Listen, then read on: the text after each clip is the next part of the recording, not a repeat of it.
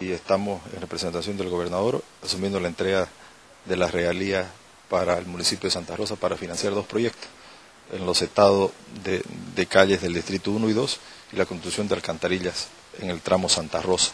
Eso supone la entrega de 669 mil bolivianos, lo que completa un monto total que le corresponde por regalías al municipio de Santa Rosa de eh, alrededor de 3.037.000 bolivianos. Ese es el monto total que se le está eh, entregando al municipio de Santa Rosa en la gestión correspondiente a regalías gestión 2009. Es bueno explicar las razones y motivos que originaron el retraso de la entrega de regalías. Primero, de hecho, el año de transición, ese año que de alguna manera eh, ha supuesto el paso de prefectura a gobernación.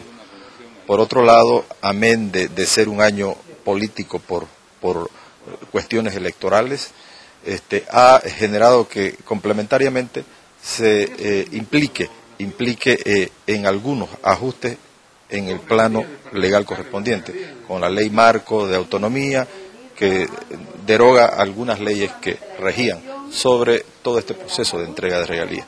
Entonces, pero aparejado eso, ha habido una, un incumplimiento por parte de los municipios. Por ejemplo, el caso puntual de Santa Rosa. Eh, en marzo del 2010 se le hizo conocer de que existía el faltante del dictamen de la autoridad competente sobre la ficha ambiental para los dos proyectos, tanto el de los estados como la construcción de la alcantarilla. Y eso motivó un retraso sustancial, eh, además de la verificación del avance físico versus el avance financiero para complementar los desembolsos posteriores. Entonces, eso ha, implicado que las entregas de regalías se retrasen y cumplamos, cumplamos con las regalías eh, correspondientes al 2009.